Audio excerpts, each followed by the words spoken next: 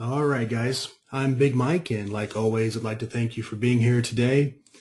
Today we've got Corey Rosenbloom here to talk about tactics for success, and uh, specifically some of the things that he's laid out that he wants to, to discuss today include creating a game plan for the next trading day, assessing and adapting to the type of the day structure, matching tactics and execution to your risk tolerance and psychology, and assessing the broad narrative and higher time frame factors. Uh, for those of you that don't know Corey, he is an author and he is a CMT. Uh, we are going to be giving away five autographed copies of his book today. The book is called The Complete Trading Course, Price Pattern, Strategies, Setups, and Execution Tactics. So at the very end of the webinar, uh, what we're going to do is have a little quiz with five questions, and we will pick five winners uh, that answer those questions correctly to get the autographed copies of the book. Uh, the, way we do that is I'm going to ask for your BMT username. If you came to the webinar from some other means and you're not already a uh, Big Mike Trading uh, user, then just go to bigmiketrading.com and click the button that says uh, register. And it's free. And then that way you'll be ready to give me your username uh, if you are one of the five winners. And then uh, we'll get the autograph book uh, in your hands. Now, uh, before I turn things over to Corey, it's actually because of Mirus Futures that this webinar is possible to today. Today, sorry, I'm, I'm still a little sick, so I'm stuttering a little bit. uh, so I'm going to be turning things over to Bob at Mirus Futures. He's going to very briefly talk about the products and services available at Mirus. Uh, that'll take only a few minutes, and then we're going to turn things over to Corey for the bulk of the presentation. And uh, as you guys have questions for either Mirus or for Corey, uh, you can type them into the, uh, the questions box on GoToWebinar, and we'll do our best to get everyone's questions answered. I also want to mention that, as always, this webinar is being recorded, and I will post it in the usual spot sometime tomorrow, which is on BMT, and then you click webinars at the top of any page. So sometime uh, tomorrow, that'll be up there. All right, guys, give me one second and I'll be turning things over to Bob.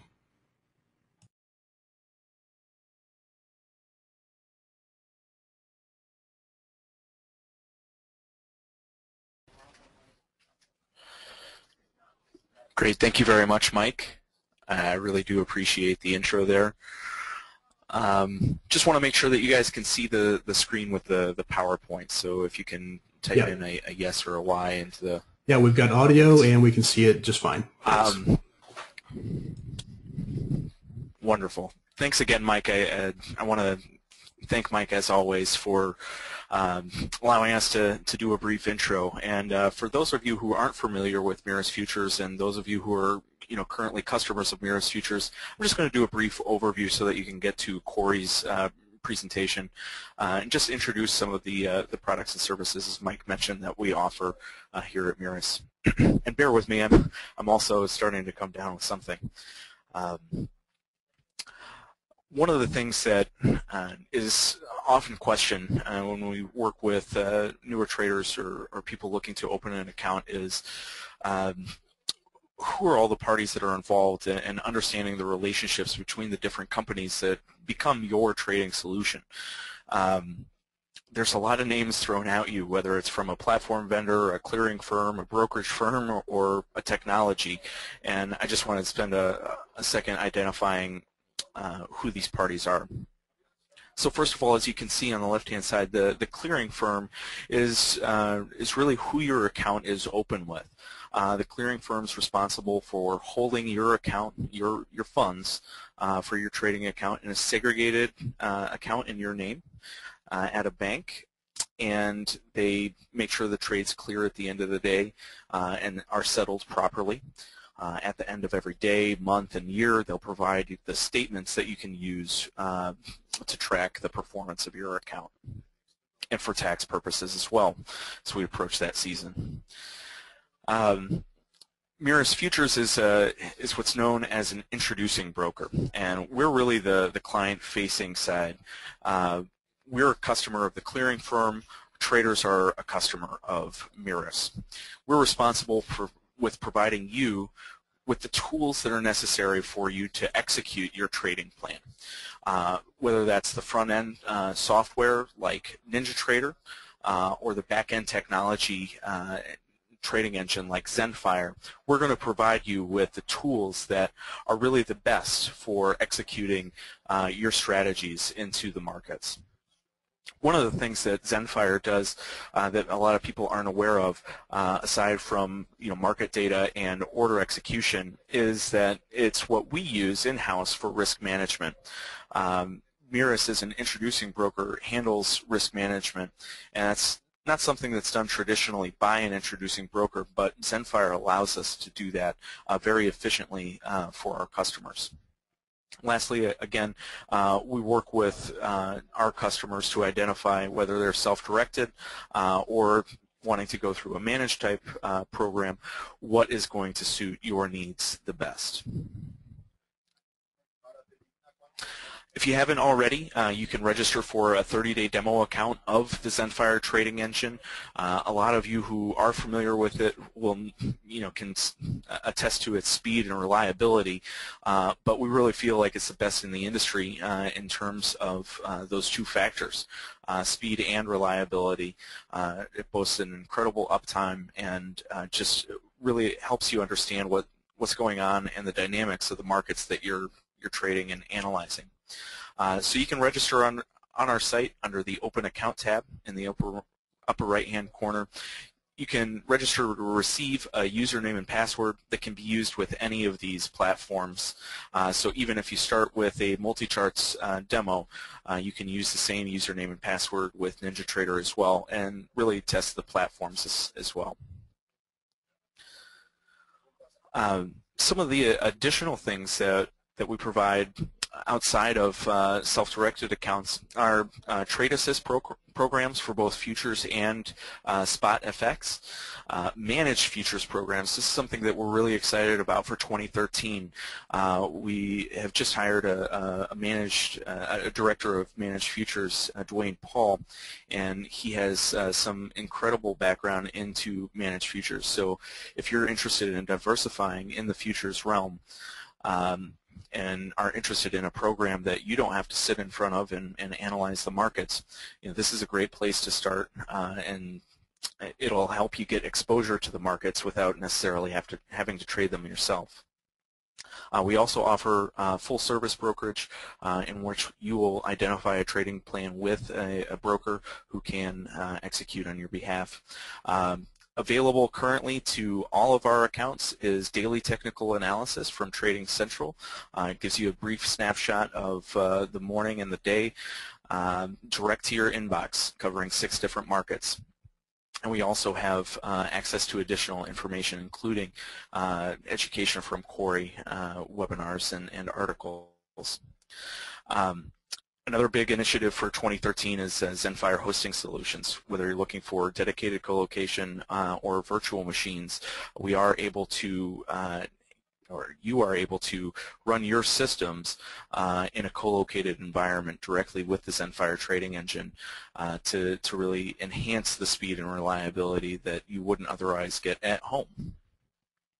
Um, just a, a, brief side note, we're going to be coming back into uh, Mike's room uh, later on this month and highlighting several of our other uh, products and services that are coming up for 2013. So I do encourage you to register for that event when registration becomes available. Uh, just to recap here, um, Futures uh, we're known in the industry as uh, a leading uh, technology uh, provider, but we also focus on customer service. Uh, our support team uh, is knowledgeable, licensed uh, team that can assist you through remote desktop support if necessary. we offer a lot of education online for self-help.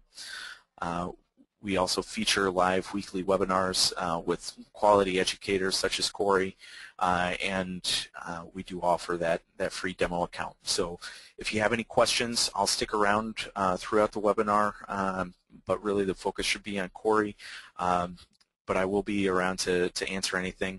if uh, if you have questions for us, uh, whether it's about a demo account or any of the services or products that we offer, feel free to uh, reach out by phone or email. We'd be more than happy to speak with you. All right, thanks, Bob. And uh, also, I want to mention that um, both Mirus Futures and Zenfire have won first place on uh, the BMT Best of Trading Awards for the last two years. So uh, I think that and th- you know those people, the the community is who votes for that. So I think that that speaks a lot to uh, how much people really appreciate Mirus and Zenfire. I see I a couple of that mention. Sure, I see a couple of questions, and let's turn things over to Corey. So uh, Jeff wants to know if uh, Sierra Chart is supported with Mirus. It's uh, it's a program uh, or a platform that you can use with your account and Zenfire. Uh, however, our technical support team is not um, is not trained on the platform. So if you had questions about the functionality or issues with the functionality of the platform, support would all be handled by the uh, the platform itself. Um, okay. But you can use it with your account here. Okay. You can always a, a you can always use other... BMT for support too, because there's a lot of people that use uh, Sierra with Zenfire. It works. It works. Yeah, there there are, and there's also a number of other platforms uh, available as well, not just the ones that we uh, have on our website. Um, Zenfire connects with you know over 12 different platforms, so feel free to get in touch with us, and we can run down the list. Right. Um, I'm trying to keep the questions very brief. Uh, do you guys uh, open accounts from Ontario? Um, check with us. There's uh, check with one of the brokers here. There is a, uh, a specific uh, regulation in Canada that prevents us from opening accounts in certain provinces of uh, Canada. Uh, I believe that um, Ontario is one that we do but uh, okay. definitely call and speak with a broker and double check. Okay.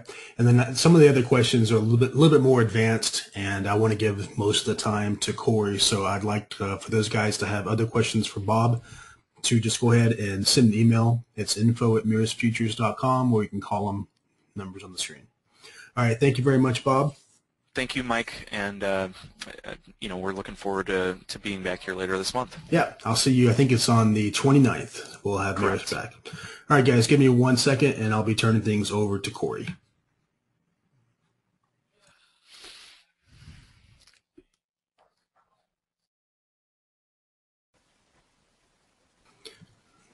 All right, Corey, we can see the uh, the PowerPoint.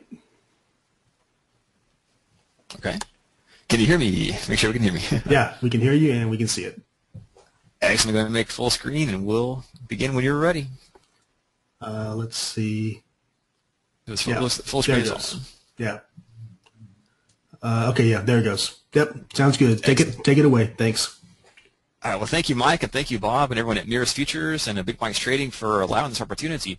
And this is going to be a tour de force to start 2013 um, because it's going to be really, I was talking with Mike earlier about trading principles for success or how to talk about in this new webinar. And I decided, uh, looking at four points, looking at execution tactics, day structure, things that really have helped me over the years to be a, a better trader. Uh, quantifying trades, putting them in, in a certain context, not just saying a flag is a flag or a head and shoulders is a head and shoulders or a breakout is a breakout, uh, taking them in isolation for me, it's putting it into a context, putting it into a broader methodology, putting in broader uh. And so we'll talk about that. But it, it was funny because I've actually given, I think, five presentations on uh, what we'll be talking about today. So the challenge for us is going to be finishing within an hour and getting the, the I'm excited about this Q&A and the uh, questions at the end of it and the, uh, giving away the books. It's I got to put together some of the questions, so be sure and pay attention because what the questions at the end of the, of the presentation will be directly from the webinar. Uh, so we'll look at that. let's go and jump in. And I will not be able to see your questions, so we will pause a couple of times. We'll turn back to Mike, and we will do a, a Q&A that way. So we will pause a few times during the presentation to get those. I, do like the interactivity, so send Mike a question if there's any, any uh, audio issues or if I didn't say something clearly. Be sure and do that because it will have the interaction. Okay, so in general, all trading does involve risk. That's just a natural component of the trading. What we will be doing, at least from my experience or from things that I've learned and and just through, through working with traders and, and being in the business for, uh, gosh, 10 years now, is putting these into context can limit your risk, A couple of things putting trades into that context can prevent you from making a trade that's about to fail. Uh, we'll see how that happens. It can't prevent all failure trades, but that's what we're looking to do in general as a probability over time as a trading strategy, is reduce risk as much as possible, but not to the point that it's perfect, and trying to maximize opportunities also as much as possible. So not being blindsided if we maybe missed a certain detail or a certain component uh, of the bigger picture. Day structure, trend day, range day, uh, what's happening on the bigger picture, etc. So again, just kind of limiting risk and maximizing our potential for profits for our individual trades. That's how the presentation will, will focus on. And, and that's just really it. What we should take away from this discussion today and to start this new year, really each trade that we take, and I'm assuming most of us are intraday or, or short-term short-term traders, that's the audience of futures, maybe ETFs, individual stocks. So the examples will be on the S&P, but you can translate this to any kind of market or time frame that, you, that you're using. But it's geared towards those intraday traders uh, of us. So each trade that we take is part of a larger whole. It's not just, again, not just a flag, not just a triangle, a breakout from a rectangle, or a, a reversal trade. And in the trading course and in my strategies, I like to group trades into one of four different areas. Retracements, those are my favorites. Those are classic uh, pro-trend opportunities. Breakouts would be also pro-trend. Could be also counter-trend, but a mostly pro-trend. A breakout from a consolidation triangle or a resistance or support level. A fade. A fade is going to be a counter-trend trade. Maybe the upper Bollinger Band. Uh, maybe there's a divergence or reversal candle. We'll play a fade and the other one's going to be a reversal trade. I try to stay away from those, but there are certain points where we take those reversal trades. So breakouts, reversals, retracements, and fades, but they are part of a bigger concept. The bigger picture, higher time frames, say the daily chart, or as we'll talk about shortly, the narrative. And that's really the presentation. Narrative, planning for the next day using the higher frame, uh, day structure, which is going to be, in general, range or trends and uh, and the strategies that, that accompany those planning and finally how to actually execute and put these trades on specifically targeting your risk tolerance your experience to uh, what tactic you're looking to put on when you do a trade now when working with traders and just in my experience too these are just common statements that maybe I've had too uh, maybe you've had as well but this hopefully the presentation will help address some of these. Uh, I never know what to look for. I see all these price patterns, all these squiggly lines, all these indicators. I, I just don't know what to look at. I, I have no idea. I, am just lost. Uh, everything happens so fast, even if you know what to look for. I see something out here. It's a flag. Here it's a head and shoulders. Here it's a triangle. Whatever the, the, the setup is, but I don't really enter. And as I enter, the move's maybe halfway finished, or I just don't enter at all. It's already over. The breakout occurred, done. I missed the trade. That, that's no fun. I know there's a larger picture at work. I know I can do this, but I just can't figure it out just yet. And how do some people make this look so easy? Well, I'm just, I just can't take it. I'm just frustrated. And of course, the, maybe the worst of them, it's all random. There's no order, just, just randomness. There's no point. You know, we'll see how that's, uh, that's not true. Trading is just probabilities. There's no certainty. There's no guarantee. Uh, it's just probabilistic setups and opportunities, trying to play more successful trades than losing or stop out trades, and then on the trades that we win, that we have our profit, making more money than we risk when we lose. So that's really the trading in general can really summed up in that probabilistic opportunities, uh, winning more times than we lose, and getting more money when we win than when we lose. That's of course the goal. it's a lot harder than that, but that's what we'll work towards as traders. So the broader narrative is really just uh, the broader factors, news, not specific news, but not individual earnings or things like that for stocks, but what's going on. This is correlated with the primary trend, monthly chart, big picture. And even if you're intraday, this still matters. It's what's driving the market. We'll take a couple of examples of what's happening now, uh, but just getting this wrong or not even looking at it can put us on the wrong side of the market. trying to short a market that's driven up by euphoria or short squeezes or other kind of bullish factors. And we see these little intraday sell signals that are in contrast with the bigger picture. Uh, that will be considered limiting loss, not taking trades that go directly against the broader picture when we can uh, assess that. And it's just organization. This is something you would not do on a day-to-day basis, maybe not even a week-to-week basis. Its broader picture does not change. I think the tech bubble, tech bubble crash, housing market run-up, housing market crash, financial crash, we'll see those. But these are things that uh, six months to a year, if not longer.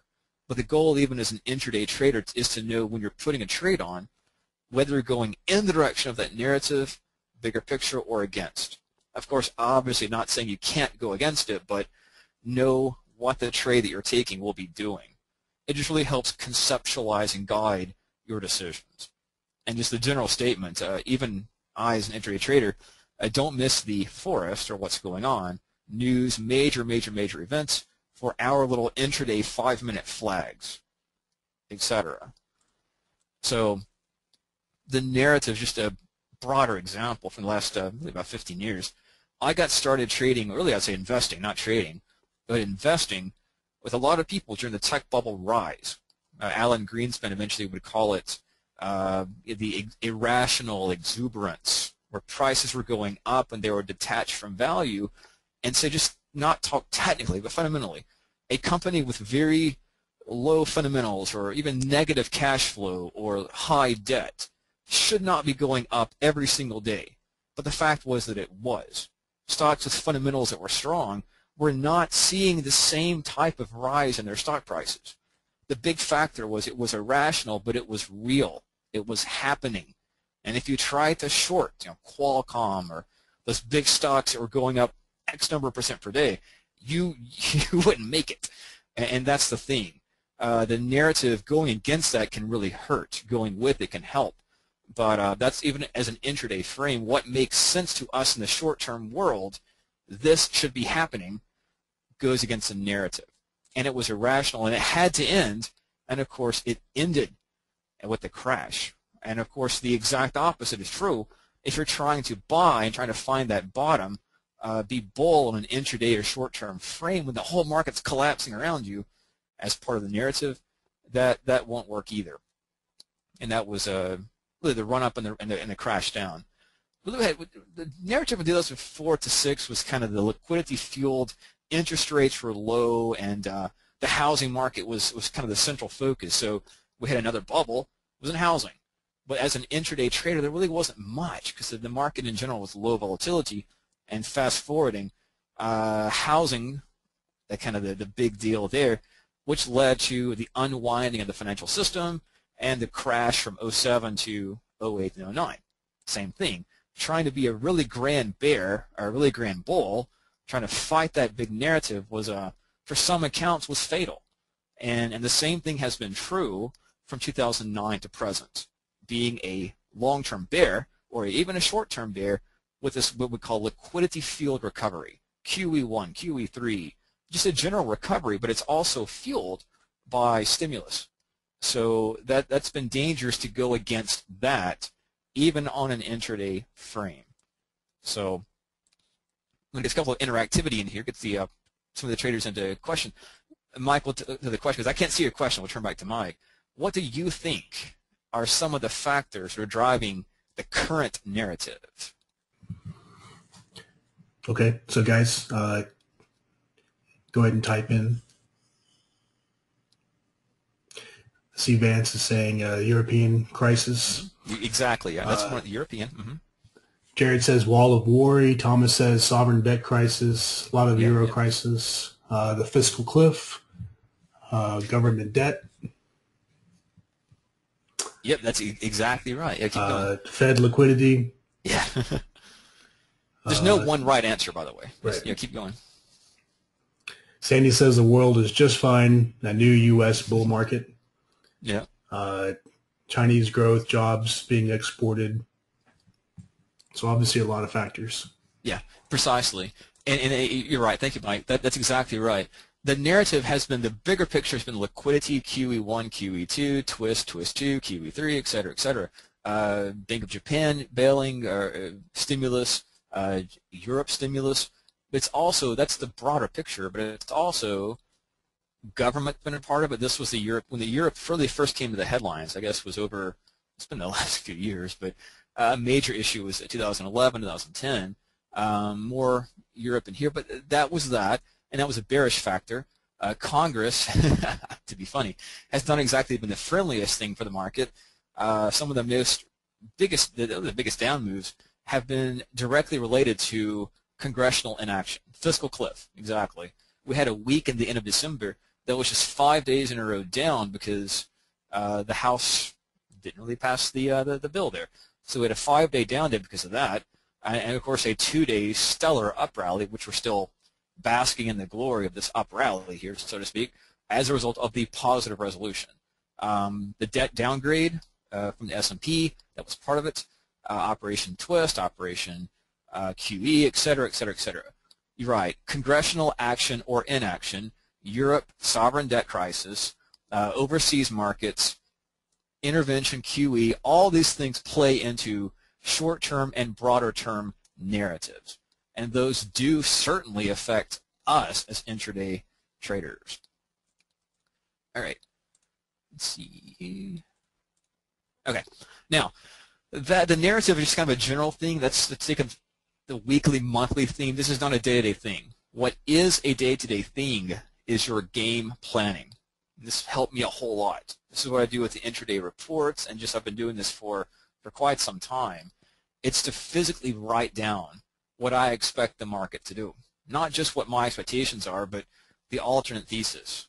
So if we're in a low volatility area, if we're not, I'm looking for certain things, you know, looking for uh, more range days, so to speak. If we're looking for a high volatility environment, I'm going to be more active with trades and really playing much, much, much more aggressively because you can take more profits, especially if trend days are are more profit are more probable in high volatility environments than low. I like trend days. We'll see that shortly, but uh, I'm a big retracement trader of trend days, so I enjoy high volatility. So, but that that's what we're looking for, uh, and it ties into the game theory of the bigger picture. Just recently, we were all planning about the fiscal cliff, yes or no. Yes would be a bullish thing, no would be a bearish thing, etc. So that ties into charts uh, mainly the game plan is done off your charts, done off the, for me, the daily chart, 30-minute chart, and the hourly. I'm looking for anything that's really, really obvious. Uh, 1475 in the S&P, very, very obvious. Now the Russell has broken to new highs. Nothing really obvious there because it's a breakout opportunity. But for stocks, for the S&P, for the Dow, for the NASDAQ, we have obvious levels from 2012. And that's just the uh, prior highs. If you do any kind of Fibonacci, that would help. Moving averages or anything trend line. Those who've been uh, in, really December into somewhere into January, mostly December, in a rising parallel trend line channel that's just drawn by trend lines. So factors on the higher time frame uh, would help us determine what the next day or next series of days uh, may be doing. And that's what a grand market profile question. You don't have to do the charts of the A, B, C, D, etc., but just the, the grand theme or the, one of the questions they ask frequently is, what is the market trying to do? You know, go up, go down, break resistance, turn back from resistance, the, concepts like that.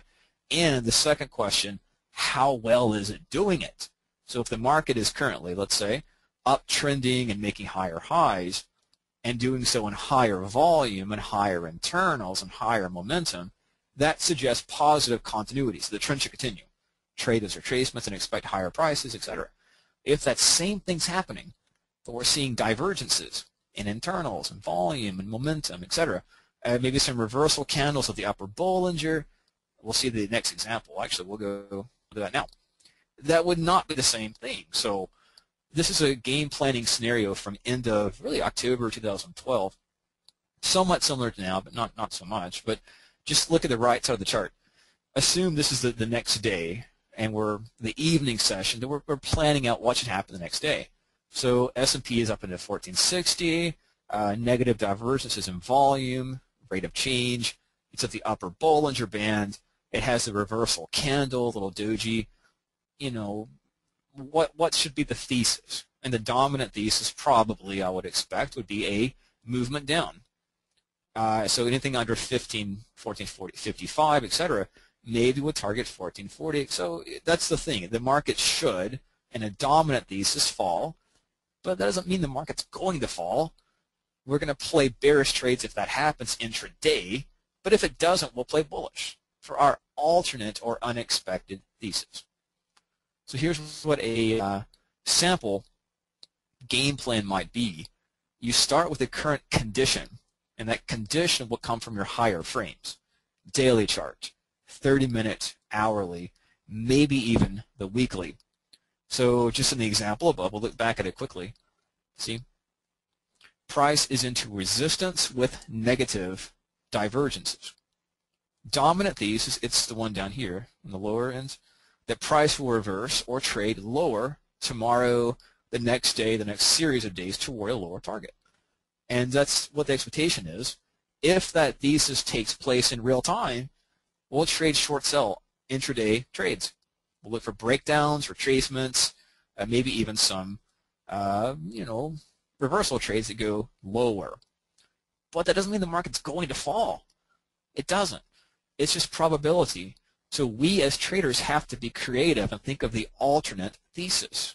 And in this case, the price breaks right on through, which is a trend continuity. Gaps above resistance, the upper Bollinger, the high of the uh, prior session. And if so, we either don't play because we're not looking for that to happen, or we play aggressive buy opportunities. I like to call them pop stops. Uh, you can call them a short squeeze. It's just the bears who thought the market was going to stall at that level, correctly so, when in real time the market breaks through, you're either going to have to take your stop loss, which is a buy opportunity, or if it goes higher, lose more money. So these tend to fuel breakouts. So that's your alternate thesis planning. We're not saying the market's going to fall because it's a reversal candle with divergences. We're saying it should, but if it doesn't, we'll instead look to be bullish. So be creative. Uh, sometimes bigger moves occur. This is one of my favorite phrases. If something should happen but doesn't happen, then it often leads to a bigger move in the opposite direction. So don't get trapped. And that's what I was talking about earlier. Traders that expect a sell-off position, swing traders or whatever the case would be, but when they hit their stops, the market hits that stop level, they have to buy. So as intraday traders, we can come in and scoop in and pick up the pieces or trade those impulsive breakout moves that, quote, should not have happened. And that's profitable. Uh, it may defy logic, but that doesn't matter. It's trying to play what's really happening versus what should be happening. With the factor that what should not happen from a logical or classical sense could lead to bigger moves. And uh, just the last thought about game planning. Determine whether you're going to be a buyer or seller off the open. You're going to see if there's a gap, and we'll see shortly how this creates day structure, range, trend, etc., and, and how to play that in real time. But the night before and the evening after the market closes, you should sit down with your charts, take about an hour, 30 minutes, and just plan for what the market should do and how you are going to react to that. Um, and that's just what we're looking to do in terms of our game planning. For example, if the market falls to a trend line and has a reversal candle up, it should be going higher. So we'll look to trade intraday bullishly if that happens, but it may break on through. So uh, be objective, be creative. Don't just get caught up in the market has a doji, the market has a divergence. It's got to go up. It doesn't. Anything can throw that off. Congress can throw that off. Uh, a news event can throw that off, uh, etc. So remember, we in the technical world, trading world, are not the only ones that affect stock prices. There are fundamental analysts, quantitative analysts, and of course traders of those styles that may not even see what we see. So uh, keep that in mind. Now, we'll, we'll pause this is the halfway point. So Mike, we'll turn back for questions so far on anything about the narrative or Sure. game planning. Uh, all right, guys, so go ahead and type in some questions if you have them. I see a few on the screen, but I also wanted to ask a couple of my own. So, Corey, are are you pretty much positioning positioning sorry positioning yourself uh, one way or the other, and then sticking with that throughout the day? You don't you don't swap back and forth from long to short, short, long, long, short. You more or less decide longs, and then you wait for the market to come to you. Is that is that right? Is that wrong? What are, what are you doing? Um, yeah, well, we'll look at the day structure. That'll be the next thing. What we're looking Okay. to do is build the, the picture down. So we'll talk about that in terms of day structure. And sometimes if you have a dominant thesis that something should happen, you, you don't have to trade. So Right. don't think that we have to take advantage of every last opportunity. You make, I've made the best trades, and I think most people have made the best trades when they see the market, they get in the field, they get in the zone, whatever you want to call it, and they say the market's going to go up to, for example, the market went down uh, yesterday. And so I was looking for that to happen, and it was a morning session sell-off, and there were some really good trades that way, but the market reversed midday.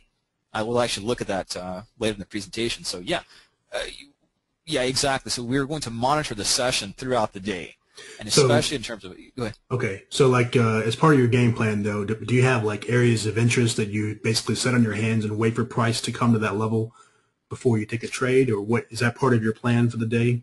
Is the Sure. certain certain price points, certain areas? Absolutely. So yesterday, we'll look just real quick. See if I can go to the slide real quick. Uh, 1460 was the key area in the S&P. Uh, look on the futures, is not so much, but on the S&P itself, 1460 was my key level, and on the SPY, I think it was 146. And the S&P is a little bit, the future is a little bit different, but the market did gap under that level. So of course, we're playing short in the morning session, and that worked out very well. So the real-time trades aligned with our thesis, and that led for some retracements and some even some breakdowns. But that went well. Of course, the market didn't go all the way down. It stalled, did some divergences, and went up. So if you're shorting this whole movement up, we'll look at some of the things later. But yeah, you're making adjustments. But yes, you do have normally a key level Okay. trigger point, and for uh, it could be a moving average, could be a round number, uh, anything like that. So yeah, you would have those, and then implement your plan in real time. Sure. And how important would you say it is for you to uh, have patience and waiting for the market to come to that level? Absolutely. Uh, we have some jokes. I work with a team in Huntsville here, and we have a lot of jokes just because I, I, I do tend to jump the gun. Um, and so like a cradle, I discussed that in the book, where the market has to cross over uh, the moving averages, 20 and 50 EMAs have to cross over. The market has to come and touch those EMAs, preferably form a reversal candle, and then fall down from there if you're looking to go short. Um, and so we were discussing that. We were on the phone, and I was I put a trader on. I jump. Here, here comes. Here's a cradle. Here's a cradle. Here, here. And of course, you know, the market did not touch the cradle. My buddy was uh, not doing that, and of course, the market broke through higher and stopped me out. And he still jokes to say, "Oh, it's a cradle. Oh, make sure." To the point. The point is, make sure that the signal occurs. Don't you know fudge it. Don't uh, pretend that it's there when it's not. Uh, that way, you keep yourself grounded. and That way, you can reassess your statistics, your trades. If you're just doing things off the fly, you can't Right. really go back and say what's working, what's not. See that Right. that would not be a trade that worked, but I did it anyway. Right, So but if you if you plan right, but if you plan ahead of time, you know these areas of interest, then you know if you if you can't wait for the market to come to those levels, if you're just trading in the middle of nowhere, then you know it's impossible to really measure what you're doing. That's my opinion. So Yeah, yeah, and, and plus a lot of some of the best opportunities, especially reversal trades, will occur uh, onto a higher time frame level. So the market will, so let's say it will fall down into a round number or something. Right. And uh, but it's an obvious level. It's not just some random Fibonacci. It's, it's an obvious level. And as the real-time chart shows positive divergences and other kind of factors, see, technical analysis in general is a self-fulfilling prophecy. We see the same things. We take the same trades, and so we uh, right, you know, we make the same positions or the same mistakes. That's what pop stops are, short squeezes. The market should do this but doesn't. So, yeah, let it happen. And one thing that helps too is um, if you miss, don't worry about it. If if you don't take a trade, I know sometimes some traders that are really uh, that love to trade and really just get excited about this. They uh, one of the worst things is missing a trade. Um, but to me, that's not really a bad thing. It, one of which is losing money. So getting in there before a signal happens, or before a level happens, or before whatever you think should happen, the trigger is, that can be worse because if the market doesn't trigger these certain triggers or people go on Twitter or whatever the case is, the feedback loop doesn't happen, then the signal, you know, never if it's never if the market never breaks a key level, it won't trigger the stop losses, it won't trigger the new buy orders, and of course nothing's going to happen. So you almost need to let that happen. And if you miss it, trust me, I've been doing this for quite some time. You will get a new signal. You may not have that exact signal, but uh, there will be another signal. So just because you miss one opportunity doesn't mean your your uh, trading career is over. Sure. By no means. Okay, I see a couple of questions here. Uh, Vance says, uh, when you say adapt in real time, can you can you explain in more detail when or what makes you change tactics, for example? Yeah, uh, let's let's we'll go a couple. That's it's going to come up in the day structure specifically okay. with the rounded reversal. Yeah, any more questions on this because it's going to come up in the the rounded okay. reversal. Sure, and then uh, also, how do you protect against being too flexible and changing too often? Yeah, that's a danger, um, and that's what the, some of the presentations working on is that we're building. See, in terms of what we're talking about now, broader picture with right now, uh, it's QE and they're going to come in and save the market or whatever whatever you want to talk about. It, it's a bullish structure until proven otherwise. So any kind of uh, bearish trades are suspect. So that's going to be your broader governing thesis, and that's not going to change. Right. Unless Chairman Bernanke says, "Oh, QE's done," in which case that's well, let's start sure. shorting that. But that's not the way it is. So that that's your broader picture helps give you uh, a concept. So that that's your underlying thing is that there is some type of bullish force out there that's helping this market go up.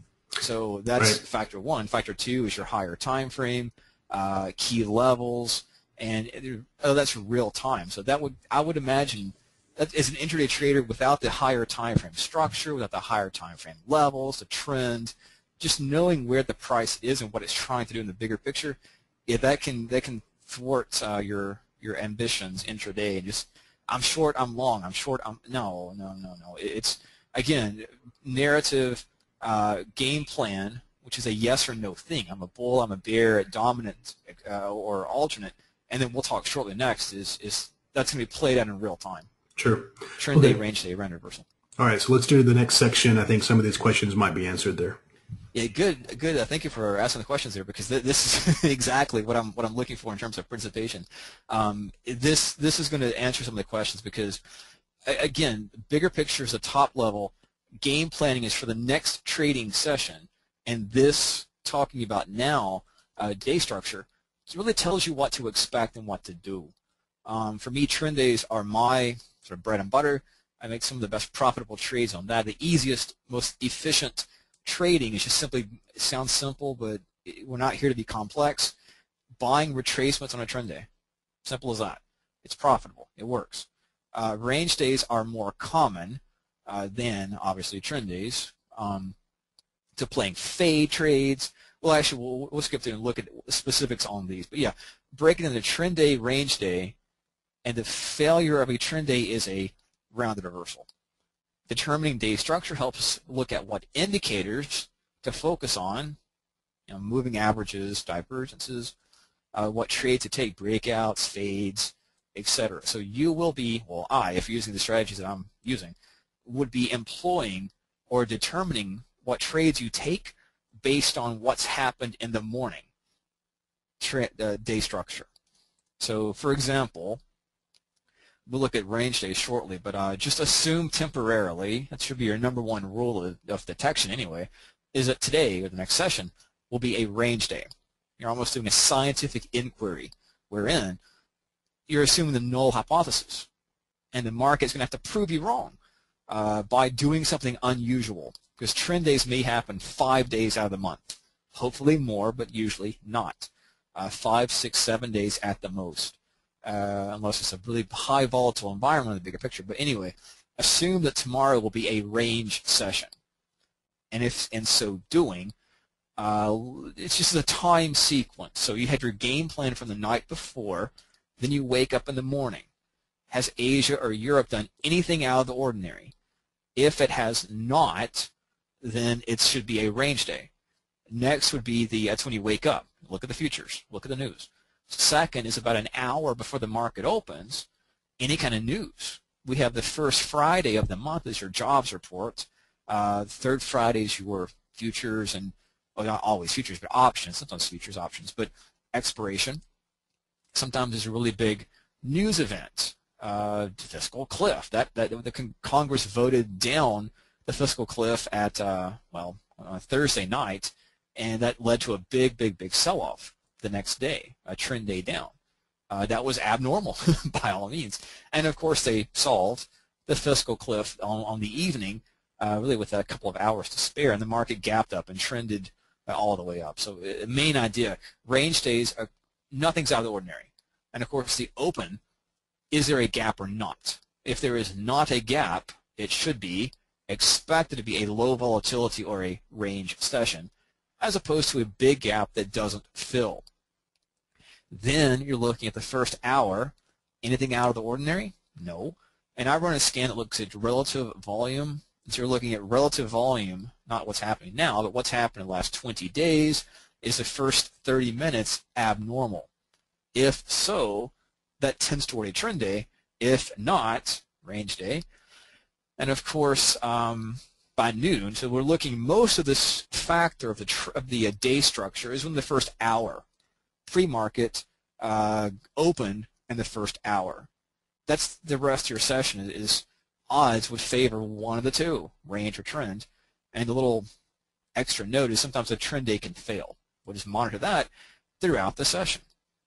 So any kind of boundaries from the range, no boundaries, meaning the market just gapped up and went on higher, or didn't even try to fill the gap, or if there was a small gap, it was filled, et cetera, et cetera, et cetera.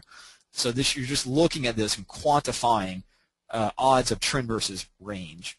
Boundaries, yes or no and then unusual activity, high tick, any kind of extreme or spike, spike in volume, uh, volatility, expansion, higher time frame, breakout. Uh, the Russell broke to new highs, so that was obviously a, a breakout thing that drew in more money. So the same would be true if the S&P continued that and, and also broke out. So that would uh, generate, one would think, a trend day if it breaks the highs. Uh, so detection number one rule of detection, just be a scientist, that today will not be a trend day. It's going to be a range day. Uh, market must prove and make note of any kind of unusual activity. So if even the market shows a trend day activity early, monitor it throughout the day. And that was the answer to the question, do I just, I'm bullish, or let's say I expect the market, this happened recently, uh, was into a support level, and it broke above the support level and gapped and began moving higher. Uh, do we just go long the whole way through? No, you're watching and monitoring for any kind of divergences and what we'll talk about in just a moment with respect to uh, rounded reversals, failed trend days. I'm going to go ahead and jump to these. We have a few more minutes and a lot to cover. So again, nothing out of the ordinary, no gap, no activity, et cetera, et cetera, et cetera. We're looking to play fades. Fade. That is, if the market goes up, you're going to short it. If it goes down, you're going to buy it. Off boundaries. For me, uh, it's the uh, Bollinger Band, standard 20-period Bollinger Band. Can draw trend lines, etc. But you're looking at the big three, big, big, big three. I want to stress these for range days. Bollinger Bands, five-minute reversal candle, doji, shooting star, hammer, be simple. And any kind of, I like to go to the one-minute chart. One-minute chart divergences in tick and momentum and breadth in other words, market internals volume. So Bollinger Extreme, reversal candle, one minute divergence, there you go. That, that's, that's your range day trade, and that works quite well. Uh, moving average trades, they won't. And they'll fail. Uh, price will chop around through them. December 14, we had a little gap down. Gap was really not quite filled, but it pushed this ES futures, uh, December 24th. Gap, lower Bollinger, filled uh, the price low, not quite the gap. The first hour, there's not really any trades. Not much to do there. Uh, not much there either. So our first trade will be a potential uh, range day fade. A little bit of a divergence, and of course that worked the upper Bollinger. So you're just playing Bollinger to Bollinger. Divergence, divergence, Bollinger, reversal candle. That's your trend. That's your range day identification. And if see it broke out, if we can draw on the chart, but the uh, uh, it broke out into the close and you're stopped. You don't play anymore because uh, the market broke from what it should be doing. It should have formed divergences at the lower Bollinger. Uh, it didn't. new tick low, etc. So you're just you're done. No more trades. That's your day. Um, on a range day. The opposite would be a trend that day. Many things are out of the ordinary. So extreme readings in tick, volume, uh, any kind of overnight activity. Congress messed something up. Congress solved something that it just messed up. Something like that. Um, headline in Europe, uh, Chancellor Merkel did something positive or negative with respect to Germany, uh, to uh, Greece. So that they bail them out, the Greece just have some other headache happen to them. European news, uh, that's a factor in, in our current uh, environment. Still is. It's, it's fallen off the table, but, but it is. So opening gap that does not fill, or maybe there's a partial fill but not a full fill, and then clear, obvious range expansion outside of price boundaries above a pivot level, whatever you're looking at.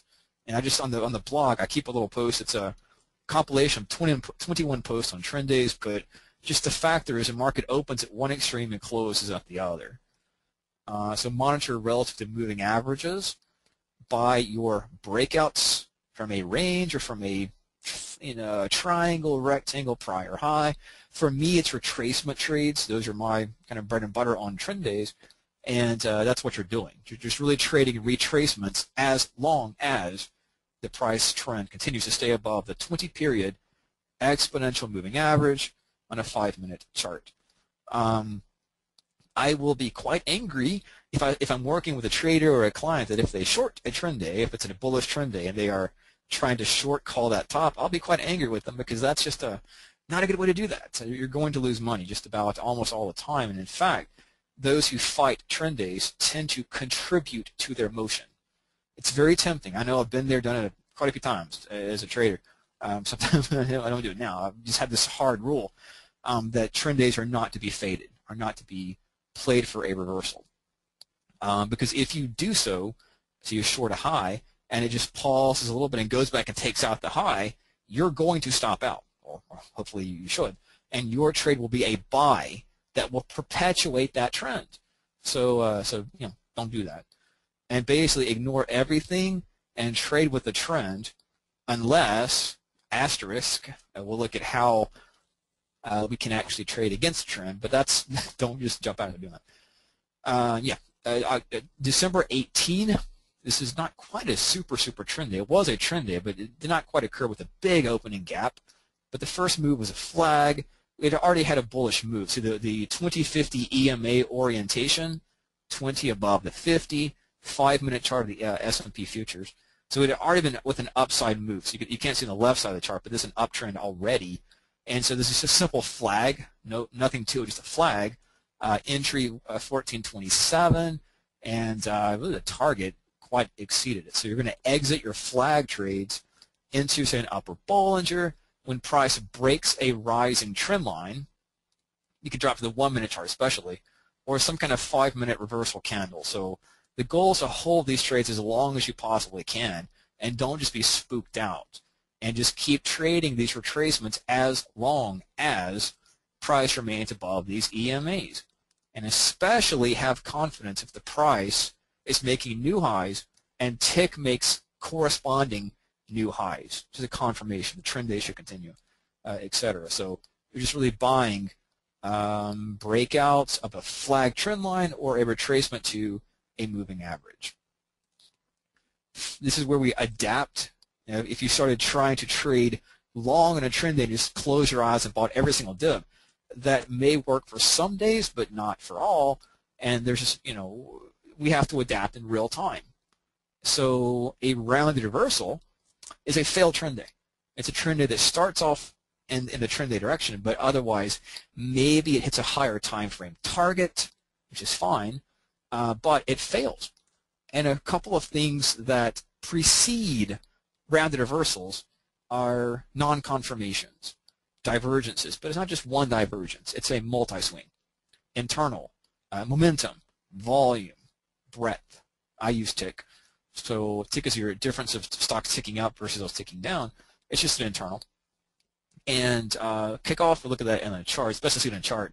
But it's when the price, say, is at a uh, new or close to the highs, price is at the highs of a bullish trend day, but the tick starts registering new intraday lows. It's, just, it's a concept from Richard Wyckoff uh, called a sign of strength, sign of weakness. But if you start seeing pronounced weakness in the tick when price is at the highs, yeah, not a good sign to keep playing trend continuity. Final thing would be a break of the 50 period EMA, which is your exponential moving average, five minute chart, or any kind of hand drawn trend line. So this is what I was talking about earlier. Uh, we had the dominant thesis, very, very, very high probability. Uh, I think I actually was giving a, a presentation, uh, the morning briefing for, uh, for um, this, but it, it, it, fell down. Uh, and actually, it, it broke 1460 on the index and then began to actually gap under and fell lower. It wasn't a whole lot of chances to play retracements, but this, this is, again, the alignment of the dominant thesis with real-time activity. Uh, and the target, I think, was 15, 1450. And uh, on the index, it hit that. And can you see where I highlighted? The tick is making sequential higher lows when price is making lower lows. That's a divergence. That's not all.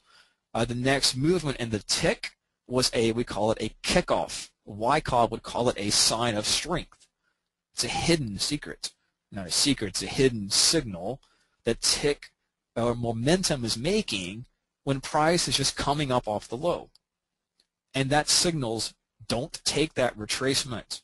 Stand aside and uh, look for the market to then break the 50 EMA.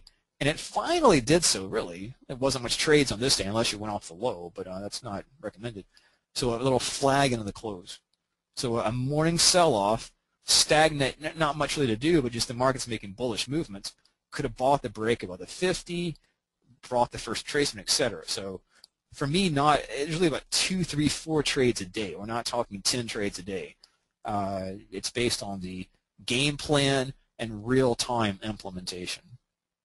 The rounded reversals are failed trend days that occur, that have divergences and kickoffs, which is st visual strength in the tick when price is not making new highs early warning signal.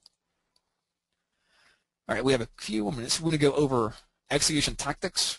And, yeah, I want to uh, let you know this is actually it's well, obviously putting a trade on. It's fine if okay. you want to run over a few minutes. It's not a problem, so don't worry. Oh, okay. I, I won't rush at this thing because execution tactics. Honestly, there I've given a presentation on this, and the the audience seem to be really bored. But um, this is critical for, for professional, serious traders. Um, execution tactics is critical. Uh, this is putting a trade on and taking it off. Sounds really simplistic, but if you have, if you're anxious or nervous, or if you're uh, really the risk tolerance is what we're talking about, your experiences, your personality. For me, I'm a conservative trader. I want to wait for as much information as possible, and I'm I don't like risk, and so I'll actually exit a trade sometimes earlier than I should, which is a conservative method, and I'll enter a trade sometimes later than I should, which is also conservative. I don't do well doing aggressive maneuvers, breakouts and reversals. I just don't. Uh, and and just the opposite. I've had clients, other other colleagues that are that they just don't do conservative. They have to be in the market. They have to take those breakouts, and they do well doing it. So don't think that uh, you know here's Corey telling you take a flag or take a breakout or whatever maximize or, or, or match the execution tactic with your strategies and your well, strategies with your personality. And it may change over time, but uh, do that because otherwise it will be difficult to execute a trade which under the condition of uncertainty, we don't know what's going to happen next. If you're too too conservative, you won't put the trade on, and that's not good. If you're too aggressive, you'll put on marginal or or, or un, inappropriate trades, that's not good either. Anyway, so a trade uh, would be a opportunity recognition, entering, placing stops, managing, and then exiting. And there's little things that can go wrong in each of these factors. I'm sure we've all done errors. I've done errors in all of them, but uh, that will happen. I've learned from them, and we learn from our mistakes. That's fine. That's the way it works. But there are four components to a trade. And uh, putting a trade on at an inflection point say the blue line. It is. It's a trend line. Maybe it's a moving average, but whatever it is, this can also go with your game planning. But uh, say this is a one-minute chart or five-minute chart, whatever, the market is either going to hit that trend line and come up off of it, which is a retracement trade, or it's going to break under it, which is a breakdown trade. If you think it's going to break up and go higher and retrace, continue the trend, you have three points, two really, uh, two strategies to get that trade on. And these are to be determined ahead of this trade. This is your core. This is your trading plan. This is not what I feel like or whatever. This is this is part of your business plan. Uh, will I enter a trade early or will I enter it later? Um, so early is going to be buying from the sellers, maybe using limit orders, but after the market hits that level and inflects up off of it, you, know, you see it in real time, but I don't take the trade. This is what happens. Uh, you're looking for too much confirmation or something. Uh, the market may break a, the high of the reversal, whatever the case is, break a trend line. But anyway, if you wait for the market to come up off of the inflection point, you're buying with buyers. Nothing wrong with that. That's what I do. Uh, but it is uh, best to use market orders because if you use limit orders and the market's moving quickly, we all saw this trade, we all sent a tweet out about it or whatever the case is, and you don't get the trade on, you're, you're going to miss it. If you use a limit order and the market just surges off that point, you miss the trade.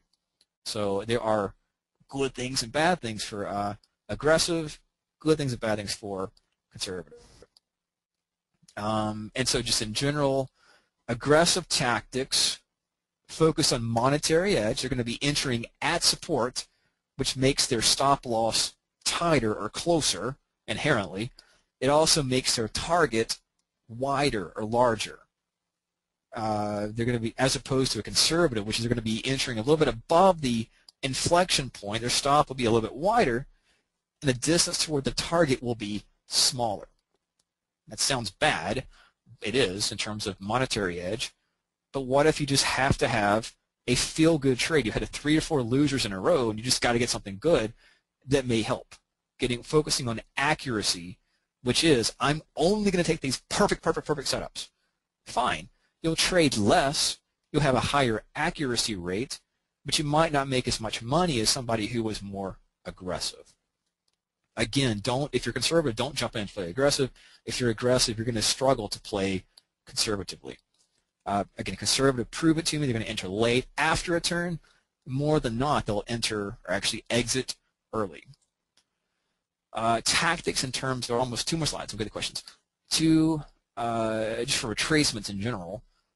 If you're looking to trade a, going back, just see a retracement, right? The market's in an uptrend pulling back to a inflection point. So an aggressive trader would get in, boom, trades on, executed get that order in there into the market. Futures contract, you know, order filled uh, was when it touches a moving average, touches a Fibonacci if you use it intraday, uh, touches a trend line, etc. Keywords touches. Boom, done, finished. Versus a conservative trader who will see the same thing. They'll see the price touch that level, but they'll wait for it to break above a reversal candle. They'll wait for a five-minute chart, maybe a one-minute, mostly a five-minute chart to form a doji, hammer, something.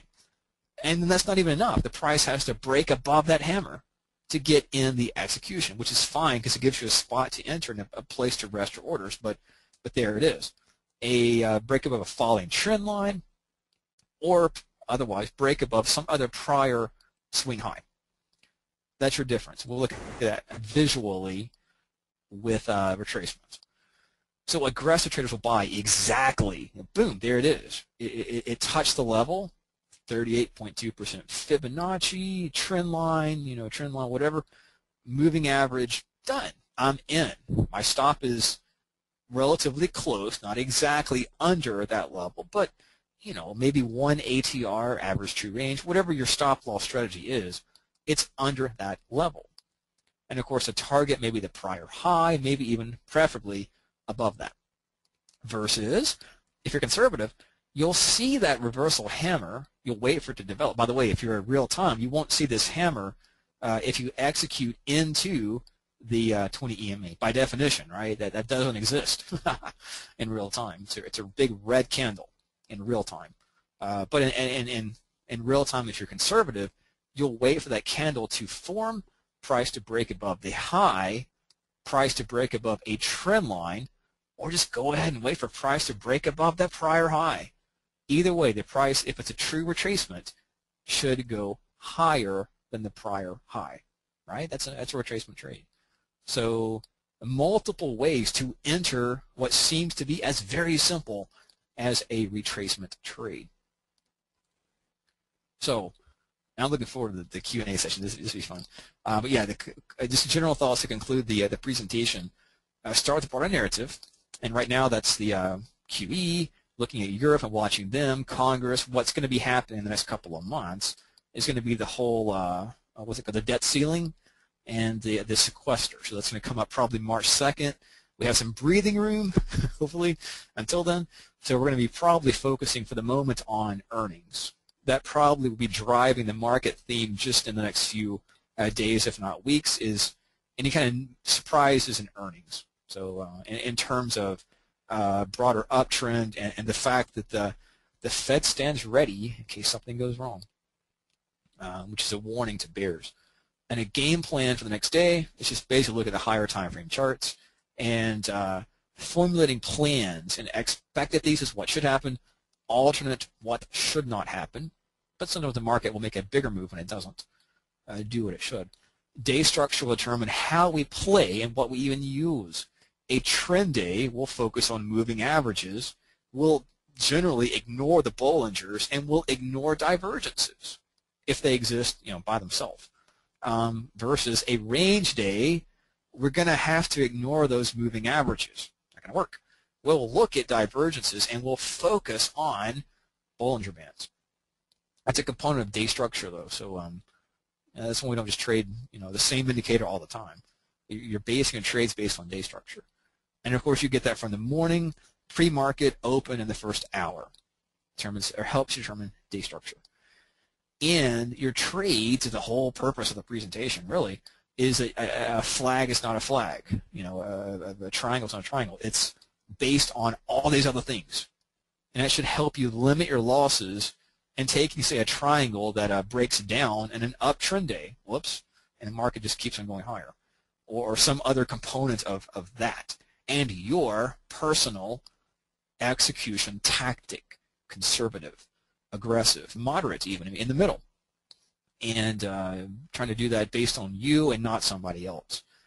And so putting trades into a context, making decisions concrete, you know, objective, quantifiable, where you can go back and test them. You can put them in your journal and say, I took 13 flag trades on, you know, five trend days and my results were da da da da, or I took 18 fade trades on 13 trend days, and whatever the case is, you can quantify that and make improvements in your performance. And it's something not abstract. Well, I think it's going up, so I'm going to get long. No, no, no. It's it's contextualized in a broader context in the day structure, game plan, and to top it all off, broader thesis.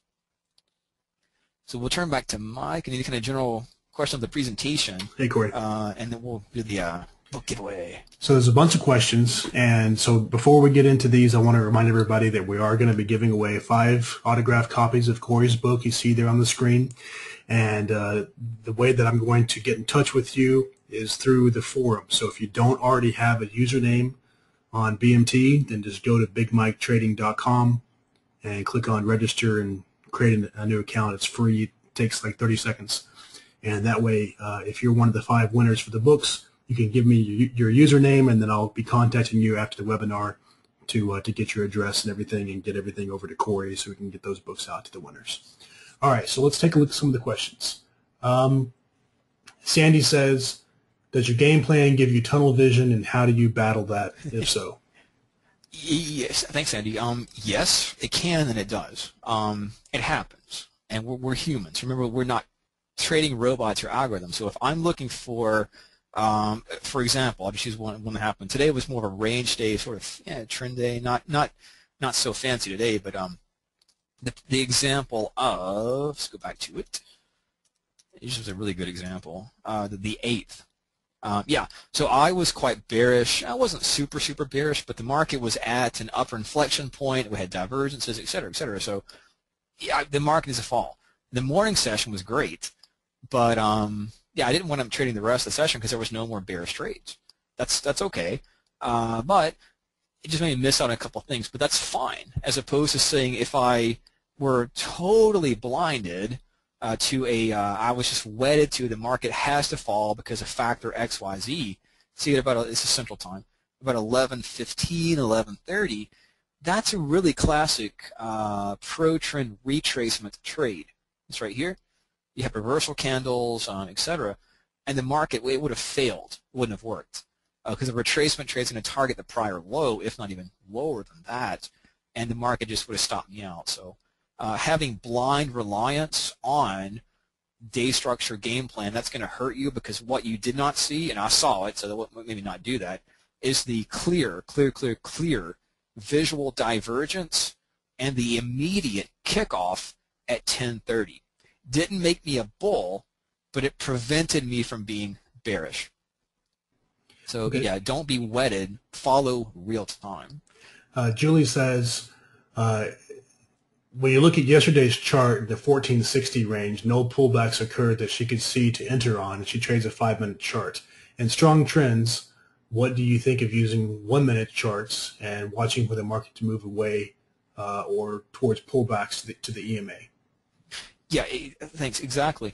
On like this, for example, on the uh, morning session, the fall here, there on a five-minute chart, there's not a place to get short. There just isn't. So you have to go to the one-minute chart and you're looking at, I can you can do a, a shorter term EMA, but I use I still use the 20 and the 50, and this pullback here, I think it pulled to the 20 EMA on the one minute chart, and there was even a pullback this I think over here somewhere, and, and these two as well. So yes, and the and same thing with the game planning. So the five minute chart would give you your expectation. You can trade off of that, but in a rapid moving market, five minute bars are not going to give you really good uh, opportunities, or at least not good signals. So go to the one and use similar concepts. As an added bonus, you're going to see these divergences a little bit clearer sometimes than the uh, five-minute chart. So the one-minute chart gives you added, well, gives you more bars by definition, but it's also going to bring these EMAs by definition also closer, and you can have similar strategies, similar retracements. A flag that was a really not clear, but a good flag on the one minute that just it's just three bars on a five. So yeah, in a big in a big uh, fast environment, or even looking at the let's go over here real quick to the one minute sorry the five minute uh, range day, you would see these diverge, especially this at 12:30 Central. Uh, really, really, really nice divergence that you probably missed on the five. Same thing here. So it doesn't look that great, but uh, one minute chart that's it's pretty good. Yeah, uh, five and one integration is what I do. Thomas wants to know, can you predict if the day is going to be a trend day or a range day? No, no, Thomas. Um, predicting no, but uh, well, I mean, it's true. I mean, it's it's odds and probabilities, you know, right. in general. But but just this is how we do it. There's no perfect way, and I'm sure there's computers out there that do amazing things. But just watch, use your use your sense. Um, not just that, but quantify and it's, it's it's a checklist. I would recommend you know copying this slide or on the recording having this copy the slide down and make your own checklist wherein you're going to have you, you, wake up and you look over the futures. You turn on CNBC or Bloomberg or whatever you, you turn on for your news and just see that anything really unexpected happen in the world. You know, yes, no. Um, pre-market news, yes, no.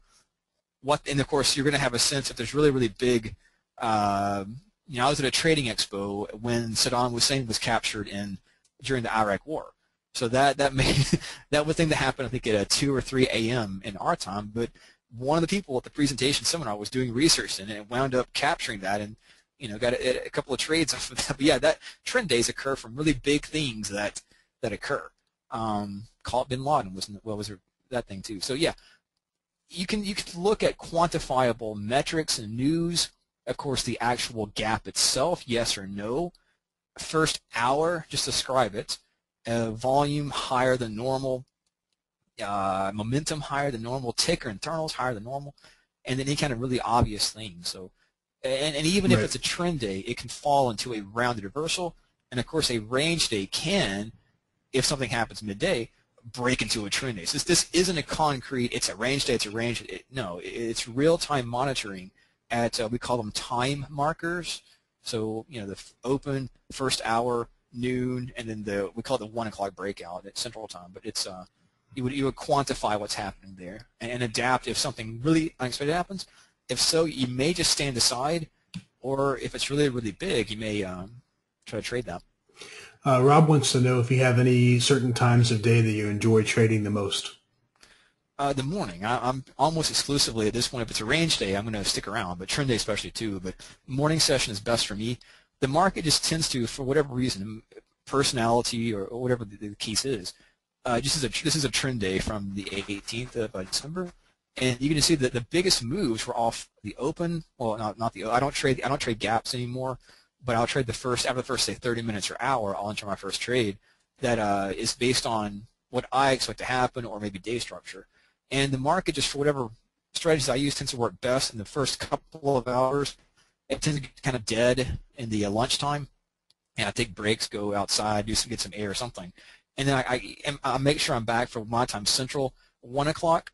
You sometimes get a breakout uh, that we call the one o'clock break. I think some people call it one o'clock shakeout or something like that. But the one o'clock Central, I guess two Eastern. You want to pay attention if there's a breakout. Um, those are my favorites. The First couple, two to two hours, two and a half hours, and the one o'clock uh, breakout. Okay, I see. I see several questions um, about the indicator. So first, let me ask: uh, You're using a 20 and a 50 EMA, I think. Is there anything special about the 20 or 50, or could it be, uh, you know, uh, some other number, 34 and 55 or 34 and 100, et cetera. And then the second part of the question is I see a lot of people asking about the divergence side. So, and, and your panel two, you're using the tick, uh, market internals, the breadth tick. Is there some other, um, is something special about tick? Why do you like tick? What about using RSI? What about using MACD or some other form of divergence? Do you place more emphasis on one over another? Yeah, yeah, good question. Thanks. Um, yeah, very good question. For me, let's start with the moving averages and move to internals. No, there's nothing special about them. But what is special is having a short term and an intermediate term. Because just with one moving average, it's not going to give you the whole picture. We look at trend and we quantify. This is just basic uh, Dow theory by higher a sequence of higher highs and higher lows. That term is a trend. Um, but you can also use moving averages, specifically a combination of two. For me, it's a 2050. For whatever reason, when I first I, I came into technical analysis in about 2003 uh, from, I guess, really investing in, in uh, 98, 90, late 97, 98. And uh, that's, I guess, I used to come to stockcharts.com with John Murphy, and they use that, so I'm stuck with it. So um, nothing wrong with any kind of permutation. Some people use Fibonacci, they use 21, 35, Nothing wrong, 55, whatever. Nothing wrong with that at all. But the, I think for me, the main idea is having a short term uh, to kind of contain the trends. It didn't even pull back fully, but it's just the market's going to pull back to something and then continue the trend. A short-term average should contain a strong trend. Uh, an intermediate average, in this case the 50, maybe the 55, a Fibonacci number, uh, would contain the intermediate level. So uh, it, it's trend continuity, trend re recognition, and so that's you know what I use there. But no, nothing special about it. It's okay. just I found it works better. And about the internals, I'm huge on internals uh, because it's not based on price. Not a big fan of volume, to be honest, but internal specifically breadth, uh, which is your advance decline, and uh, issues that are positive on the session minus those that are negative. And uh, even more than that is tick. And the reason is tick is, I call it like a democracy. Um, if you think of the S&P, there's 500 issues, or stocks in this case, but uh, and each one has one vote in the tick. So if 400 stocks are ticking, or that's a lot, but say 400 are positive, sorry, the ticking, the, the, last last uh, iteration was a high, it was a movement up, you know, plus one, a penny or something, uh, minus, and say 100 are, quote, ticking down. So 100 stocks made a uh, tick lower, that's a tick of 300 because it's 400 minus uh, 1. And so that gives me a sense of market eh, participation of the entire index because Apple and Intel and a few other, you know, ExxonMobil, uh, big names weight the index. So if you have an index, Dow, NAS, Russell for that matter, making a new intraday high, but the majority of stocks are lower or actually not making that high, that's very important because I'm not going to be buying the retracements uh, that occur in that divergent situation versus like this on a trend day where you have price making new highs, tick making new highs, maybe breadth making new highs. That just shows me that there's a democracy. The market's moving up and it's moving up with a, a lot of stocks. And that should lead to continuation versus like this where the market itself, the index, or the futures in this case, is moving lower, but the tick is moving higher on a relative basis.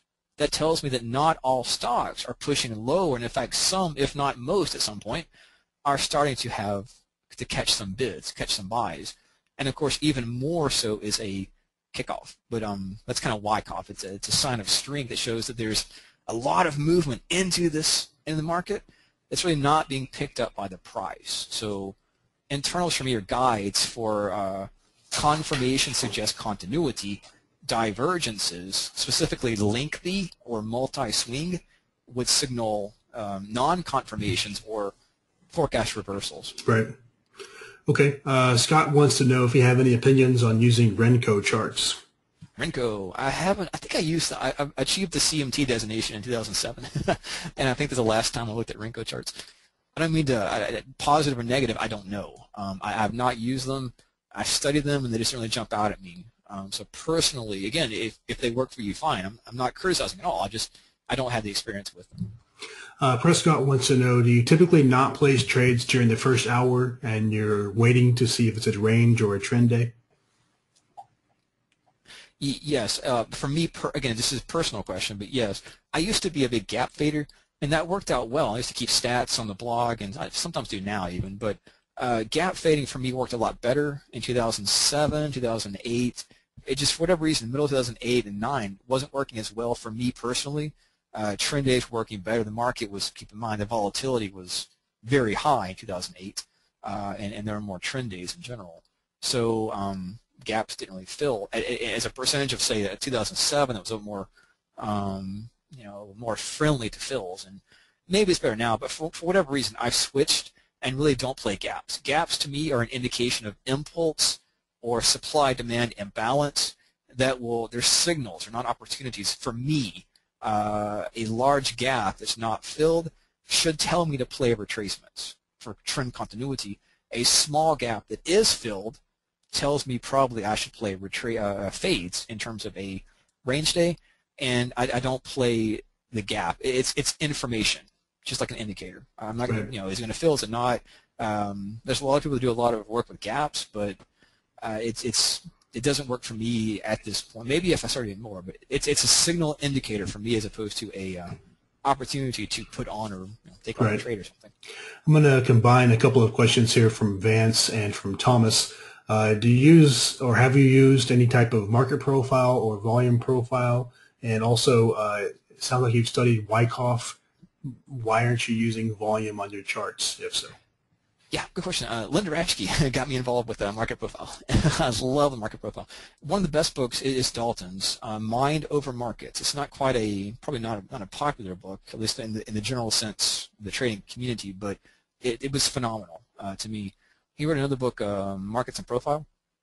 I prefer the Mind Over Markets. It's just a little bit better in terms of explaining uh, the terms of day structure. Um, those are market profile concepts uh, value. I don't do so much with like value areas and you know those sorts of things, but the concept of excess, which is a spike, uh, non-confirmations, um, you know, looking at those sort of factors. I use concepts of market profile, absolutely.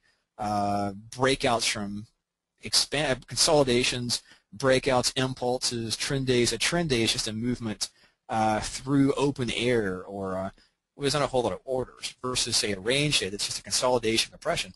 Those are still market pro, uh, market profile concepts. Um, volume doesn't really help me as much. I use relative volume, especially off the open. So I have a little Excel spreadsheet that, that kind of crunches the uh, volume numbers for the SPY and the ES, we're looking really at the first hour and seeing if there's a significant difference or a visual difference of the last, I use usually 20 days, the last 20, which is a month basically, um, of uh, SPY or ES volume, and then just look at is it a trend day or not. Uh, range day would have close or volume that's in line with uh, the 20-day average. Trend days would visually jumps off at you that says, hey, this volume's higher than normal. So for me, volume is important for determining day structure. I'm, I'm much more on internals than intraday right. volume. Um, okay. We've seen so many. real quick, we've seen so many volume divergences.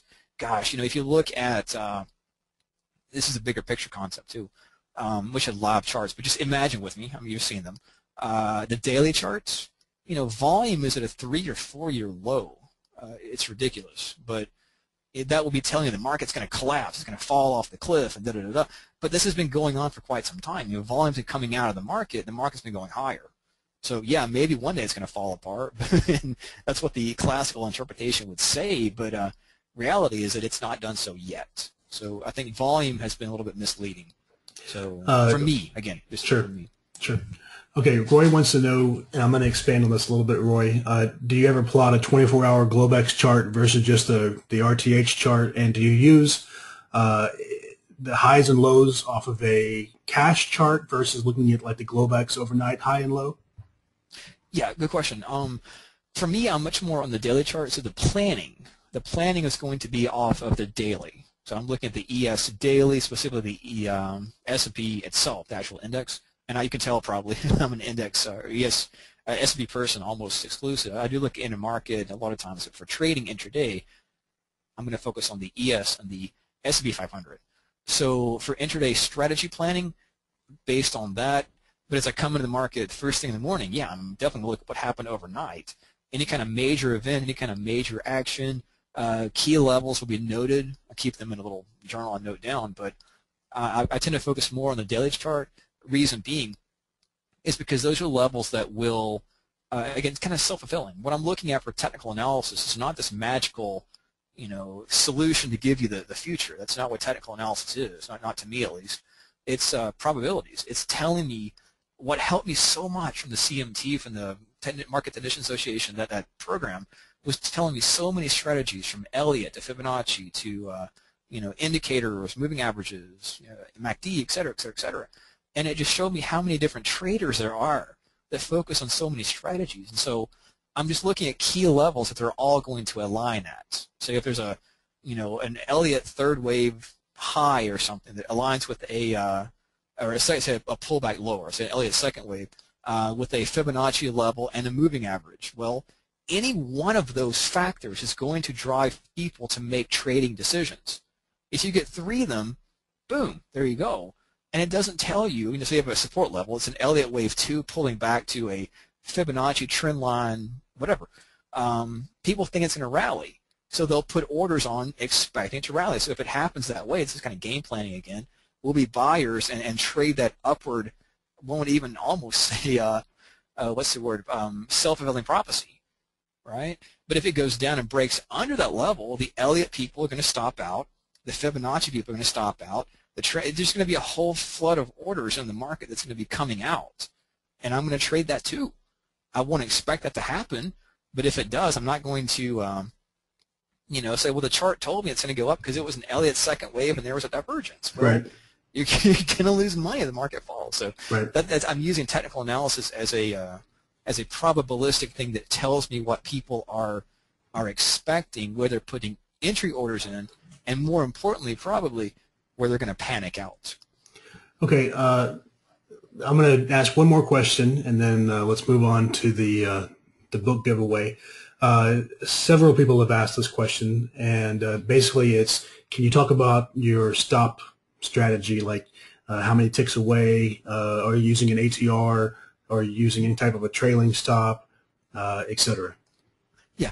Well, each trade is a little bit different. Uh, that's why I didn't talk about stops, because stops is a, you have two or three presentations on stops.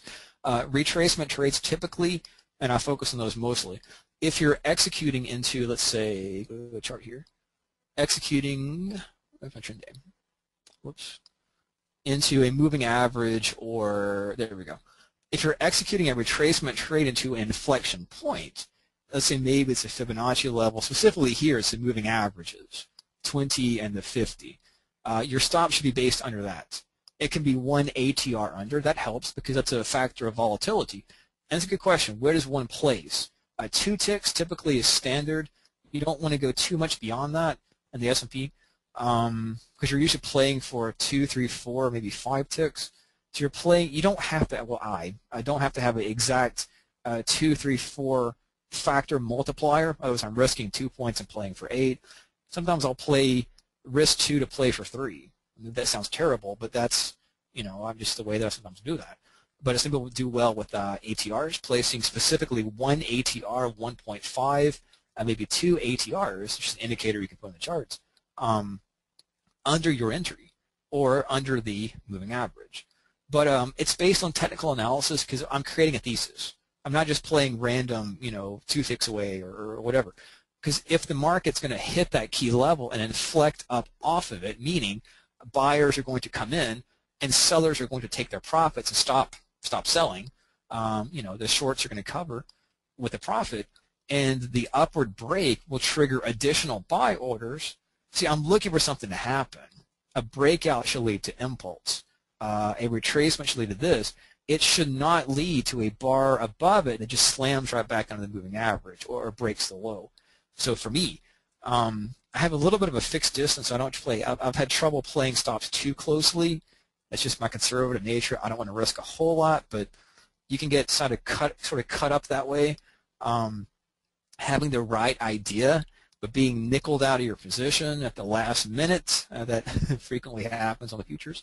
Um, so give yourself a little bit of room, but place your stops based on a technical analysis expectation, a little bit under a trend line, Fibonacci, moving average, or in the case of a breakout, or let's go back to a uh, range, let's say, a range day above the Bollinger. So it shouldn't go beyond the Bollinger. But, it, but in the case of this, just talk about this real quick, uh, 1411.50, if you short sold and just nailed that Bollinger there, you put it one tick above at 1412, boom, it got you. And you were exactly correct because the market went down and made uh, a test of the Bollinger and got a profitable trade. So give you know, at least above the prior high, above the Bollinger, but not at the Bollinger. So give it some room and base it, I would argue, on technical analysis. Okay, thanks, Corey. And so before we move to the uh, the book giveaway, uh, do you have a slide for contact information? So if anybody has any other questions that we didn't get answered, they can maybe email you or something. Sure, absolutely. Um, I'm just directly at Corey, C-O-R-E-Y, at afraidtotrade.com and of course the blog, blog.afraidtotrade.com. Um, just email me here, and I'll be able to answer any kind of questions. And uh, yeah, absolutely. Okay, guys. So if uh, if your questions uh, did not get answered today, then there you go. You can reach Corey right there, and I'm sure he'll be happy to answer them. Okay, so at this time, I want to go ahead and move to the five book giveaway. And uh, I think Corey, you've got the the questions, and you're going to help me with the answers. So uh, if you can expand the that, the, the questions panel and go to webinar. So you can see all these as they fly by. oh wow, yeah, a lot. I did see. Yeah, I saw the questions here. My goodness, a lot of questions. Thank you. Yeah. Okay, I think I'm ready. I the, yeah, I can see it now. Okay. Uh, you want to switch to that slide, or do you want me to read it? Yeah, we'll go ahead and we'll make it official. I'll let you read the question, and we'll I, I, try to make it as just before we start. I try to make it as specific as possible, like one or two words. But um, closest is it the first one to, to answering will be the correct yeah. answer, correct? So, so we have five books, right? So for question one, it's the first person that answers correctly. Once we get to question three, I'm looking for the third person that answered correctly, and once we get to question five, looking for the fifth person to answer correctly. So it's kind of like, you know, on the radio, you know, looking for the 97th caller or whatever. That way we give everybody a chance, you know, no matter how fast or slow they can type, uh, they have a chance to, to win. Uh, okay, very good, very good. So Corey, I, I, think you might have changed some of the questions since you last emailed them to me. So yeah. if you want to just put it on the screen, then I'll read it out. Okay, well, here we go. We'll click to the first uh, question here. We get it. There we go. All right, go ahead, Mike. All right. When uh, assessing the type of day structure, what did I say was the number one rule for detection? Number one rule for detection. No, it's not not not a gap. Not well, sort of. Not determine the trend. It's what I said. What I said. Ah, gotcha. Prescott looks like the first one that got it. Uh, Okay. assume it's a range day. Correct. The first, and that's it's debatable, but the, assume be a scientist. Assume it's a range day. Otherwise, if you think every day is a trend day, it, it's not. You'll you'll make mistakes. So Okay. So Prescott Prescott. I need Prescott. your I need your BMT username, please, and I'll, I'm going to contact you after we get through here uh, for more info. So Prescott, so the answer was assume it's a range day. And okay, there's his username. Let me write that down. Okay, question two. number two. Good luck. Name two of the three indicators I said work best for taking trades during a range day. And so we're looking for the second person. Looks like se- second person. Sal got it correct. So, but he's the first one. Looks like. Okay. Bollinger Bands MA, not the MA. Bollinger Bands. Sharon Lee looks like Sharon Lee may have got it. Okay. Uh, so guys, Yeah, you it's stop. two. It's two. Bollinger Band and Divergence. Yeah, Right. two. And uh, uh, let's see. Yeah, Sal got it first, but looks like Sharon got two there because everybody else Okay. just one. So yeah, Sharon. right. So Sharon Lee, I need your BMT username, and so the answer is Bollinger Bands and Divergence. Mhm, and, a, and a reversal candle. Yeah. And Sharon, so okay, there we go. Let me write that down.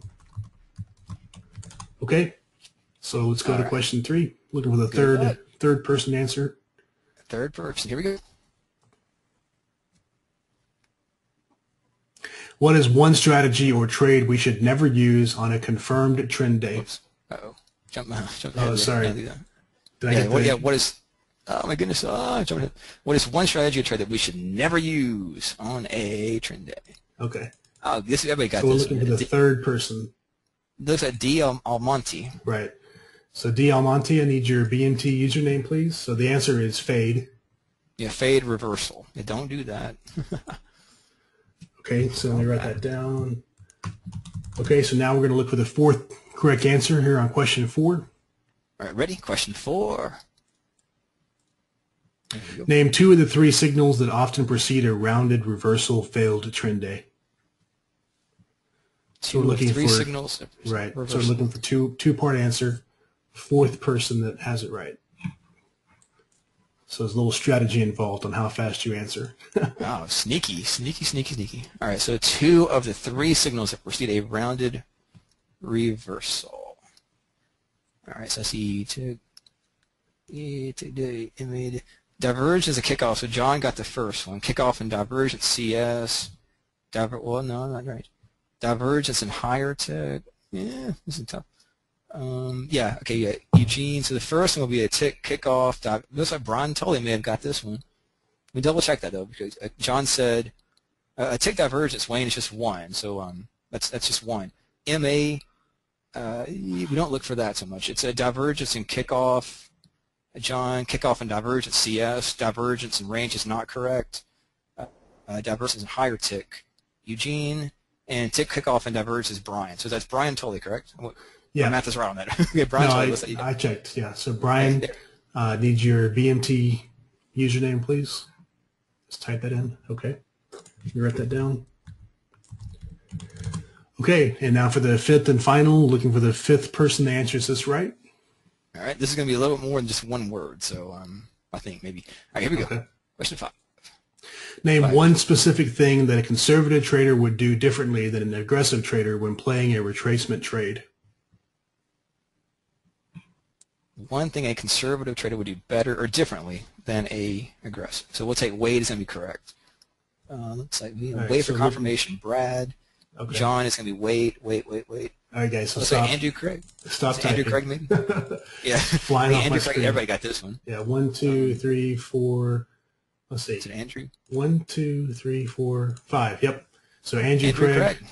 need your BMT username. So the right answer was wait for confirmation. Andrew need your username. We're waiting for that. All right, guys. So uh, congratulations to the five winners.